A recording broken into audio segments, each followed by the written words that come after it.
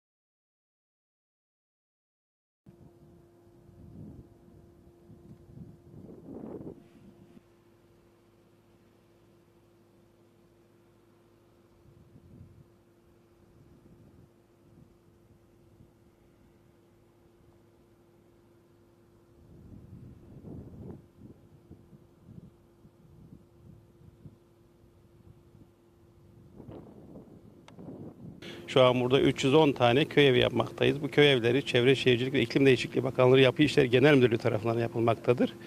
Şu an bulunduğumuz e, köyde 47 tane ev bulunmaktadır. Burası Gedikli Köyü. 10 tane de ahır mevcut. E, evler 3 artı 1 olarak e, tasarlanmıştır. 5 ayrı tip ev var buralarda. Yani standart tek tip değil.